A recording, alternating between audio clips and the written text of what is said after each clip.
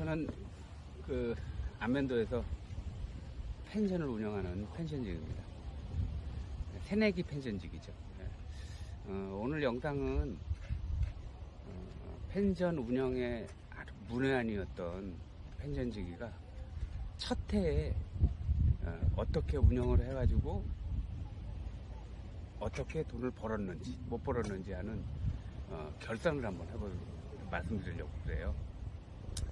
어, 저희 펜션은 이제 연세가 4천만 원인데 어, 작년 2월 15일 날인가 오픈을 해가지고 12월 31일까지 10개월 한 15일 정도 운영을 한 거를 가지고 어, 결산을 한번 해보자면 어, 그러니까 social에 그러니까 여기 안, 뭐, 뭐 데일리 이런 데서 예약 들어온 거를 세금 신고할 때 보니까는 그게 한 7천 한 800만 원 정도 됐습니다. 그리고 그 외에 이제 지인들이 예약하신 거, 그러니까 현금으로 받았겠죠. 그리고 또 이제 어 그냥 오셔서 카드 결제하신 분들, 그리고 또 그 외에 수입들이 있어요. 그 뭐냐면 이제 추가되는 인원에 대한 추가 인원비, 그 다음에 숯불 바베큐 비용, 뭐 이런 것들을 갖다가 이제 다 더해서 결산을 한번 해보니까 작년 매출은 1억 정도 했던 것 같은데, 1억 정도. 예. 처음 한 사람 치고는 잘했다, 못했다, 이렇게 판단할 일이 아니긴 한데, 계산을 해보면 1억에서 4천만 원 연세 빼고, 또 운영하는 데 들어가는 돈들이 있어요. 전기세, 수도세, 뭐 도시가스, 가스 비용, 어, 그리고 뭐 비품비 이런 것들이 대략 대략 한 3천만 원 정도 들었던 것 같습니다. 계산해 보면 그러면은 연세 1억에서 4천 빼고 3천 빼고 하면 3천만 원 남은 거잖아요. 그런데 이제 거기서 이제 인건비가 있죠, 인건비. 예. 그러니까 이제 처음이다 보니까는 그 같은 이제 인건비를 지급해야 되는 상황이 돼가지고 인건비를 또 지급하고 났더니 실제로는 인건비 또 운영비 그다음에 연수대하면 거의 1억이 됩니다. 그러니까 돈이 남지 않았어요. 네. 거기다가 문제는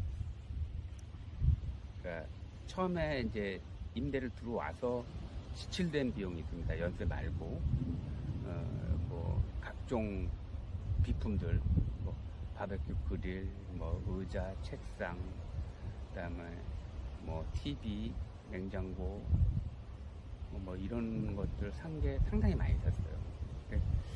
그게 대충 한 4천만 원 정도 그런 거 구비를 하고 그런 것 같습니다.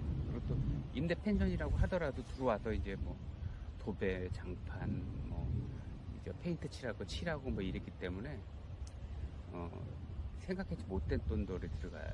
그게 대충 한 3, 4천만 원쯤 됐을 것 같아요. 결국 1년을 결산을 해보면, 어, 저하고 저 집사람하고 와서 일한 거에 대한 인건비는 전혀 건지지 못했다. 어, 또, 어, 초기에 투자했던 비용, 연세 말고 투자했던 비용은 전혀 회수하지 못했다.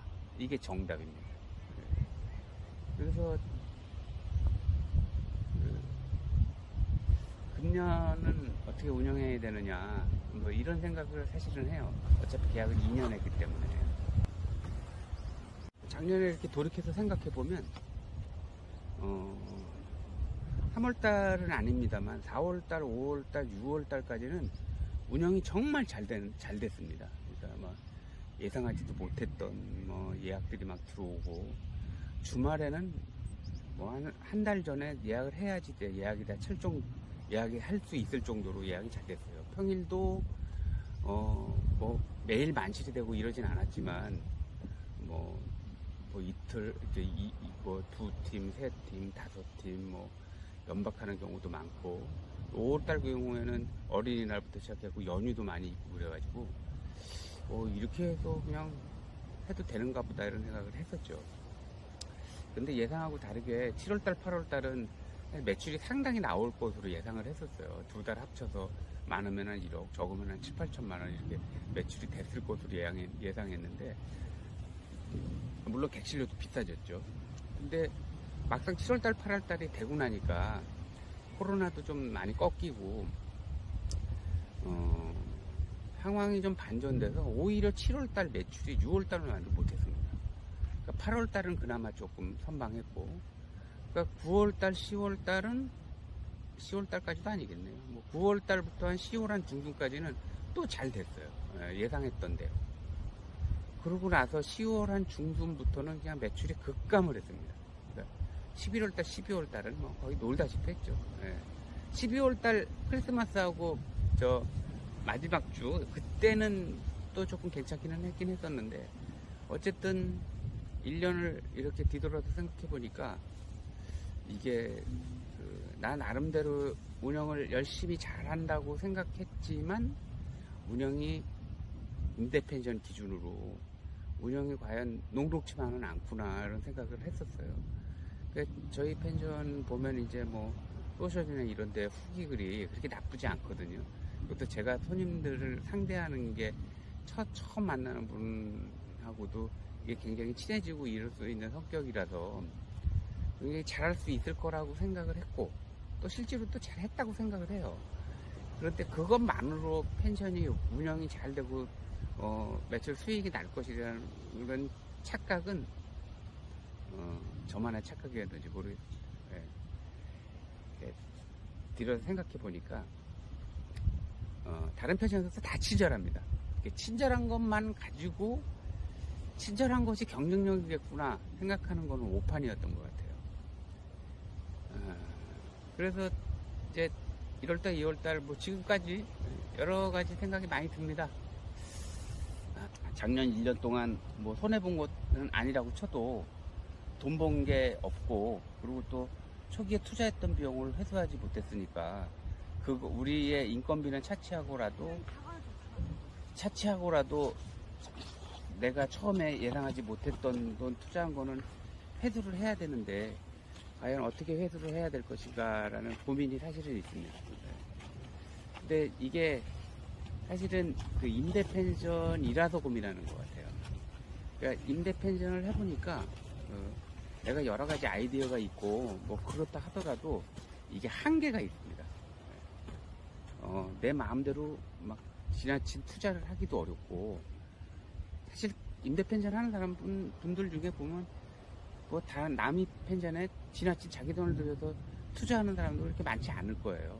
왜냐면 나갈 때 그 돈을 다 회사에서 나간다는 보장이 없기 때문에 그리고 또 그게 한두 푼 드는 것도 아니고 그래서 그 임대 펜션에 대해 가지고 있는 제약들이 있어요. 그 제약들을 넘어서 어떻게 과연 운영할 것인가 이런 고민이 사실 좀 있습니다. 제가 이 영상을 찍는 이유는 지금 뭐 이미 펜션을 운영하는 분들이야 뭐 전부 다 똑같이 저처럼 생각하고 행동하고 하실 거니까 뭐 그분들한테는 도움이 되지는 않을 것이 뻔하고 근데 펜션을 준비 중이시거나 펜션을 하고 싶으시거나 하시는 분들이 영상을 보신다면 약간의 좀 도움이 되지 않을까 싶은 생각이 들어서 영상을 한번 찍어 봤어요. 어, 안면도는 그나마 그 관광 지역이다 보니까 손님이 그렇게 없는 편이 아님에도 불구하고 어, quality가 그냥 그저 그런 펜션을 인수해서 또 임대 받아서 그 펜션을 운영한다는 것은 어, 쉽지 않은 일이긴 하다. 어, 그게 결론이에요. 하지 말라 이게 아닙니다. 저는 계속 할 거예요. 예. 될것 같은 생각이 들거든요. 예. 계속 할 건데 어, 정말 신중에 신중을 기하시고 준비를 잘 하시고 그래서 하셔야 되지 않을까 하는 생각이 듭니다. 음, 그래서 저도 여러 가지 고민이고 뭘 해볼까 이런 생각도 해보고 그러고 있습니다. 예. 준비하실 분들 여러 가지 준비 많이 하셔서 건강하시기 바라겠습니다. 제 영상이 도움이 어 뭐 그 영상을 찍는 기술이 부족하다 보니까 말주변도 없고 그러다 보니까 보기가 좀 그러실 수 있는데요. 궁금하시고 그러시면 저희 펜션으로 전화를 하십시오. 네, 전화를 하시면 저번에도 전화 몇 분 오셔서 이것저것 물어보시고 하시던데 뭐 제가 아주 베테랑이 아닙니다만 아는 법인 내에서는 우리 형제자매가 펜션 한다 생각하고 잘 알려드리도록 하겠습니다. 이상입니다. 봐주셔서 고맙습니다.